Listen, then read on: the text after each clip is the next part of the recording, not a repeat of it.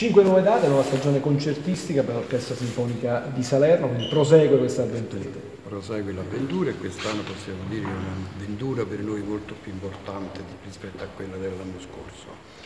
Diciamo che la conferma di quello che abbiamo già realizzato l'anno scorso e mi preme dire e con piacere che io ho avuto una bellissima sorpresa, cioè sul suggerimento del, della nostra addetto stampa, eh, dottoressa Concita De Luca, sono andato su Facebook e ho trovato la bellissima notizia quale, con la quale il Comune, nella sua pagina ufficiale Facebook, annunciava la nostra conferenza stampa. Questo è stato un fatto che a me mi ha riempito di gioia e mm, di cui sono molto orgoglioso, fatto stesso che le nostre istituzioni comunicano alla cittadinanza la conferenza stampa della nostra orchestra è qualcosa che ci riempie di gioia veramente.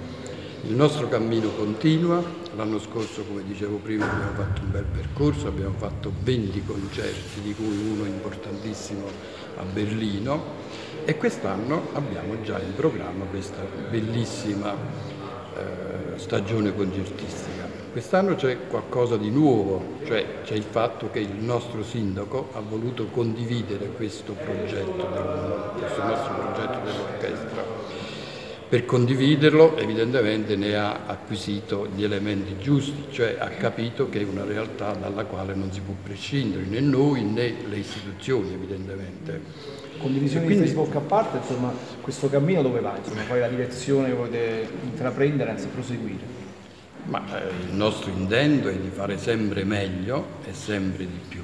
Abbiamo questa stagione concertistica che si articola in cinque concerti al Teatro Augusteo dove siamo ospiti delle nostre istituzioni. Sappiamo che il Teatro Augusteo è il secondo teatro cittadino, quindi per noi è un onore ed è un orgoglio eh, eseguire questa eh, rassegna, questo nostro progetto dell'orchestra per condividerlo evidentemente ne ha acquisito gli elementi giusti, cioè ha capito che è una realtà dalla quale non si può prescindere, né noi né le istituzioni evidentemente.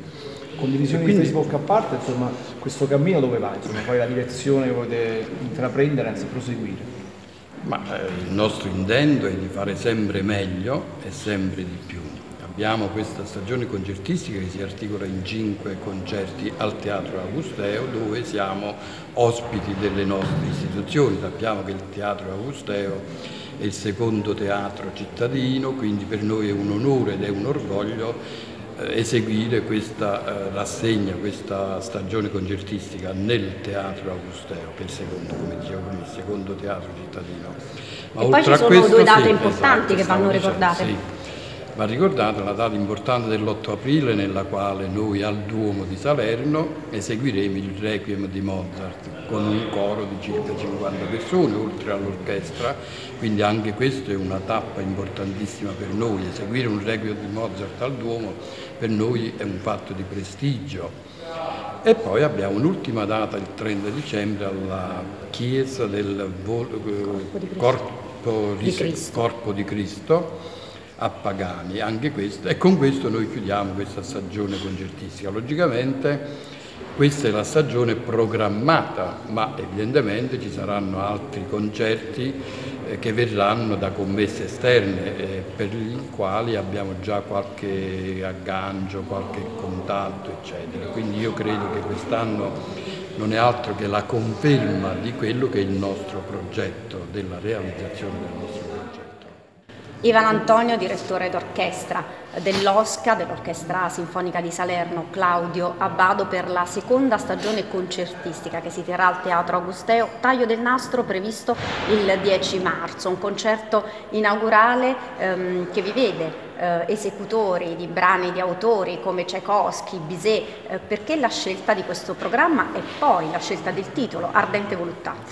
Allora, innanzitutto io eh, sono felice ed orgoglioso di, eh, di, annunciare questa seconda stagione e come primo concerto avremo, eh, ehm, l'opportunità insomma, di ospitare una delle promesse eh, più interessanti del panorama internazionale per quanto riguarda i direttori giovani. Infatti Georgios Balazzinos è eh, vincitore eh, dell'ultimo premio eh, a Berlino per i giovani direttori d'orchestra. Eh, siamo, eh, siamo amici, abbiamo studiato insieme all'Accademia Chigiana a Siena e da quest'anno mi è piaciuta subito l'idea di cominciare insomma, ad allargare eh, le ospitate eh, di giovani talenti perché la nostra orchestra vuole eh, insomma, eh, promuovere i talenti nazionali e non. Ardente voluttà perché lo dice stesso insomma, il titolo, eh, voluttà sta per passione, ardente, è, è un'ardente passione che muove questa orchestra di, di, di giovani eh, grazie insomma, a, alla forza maggiore che il nostro presidente, il dottor Giovanni Divisa.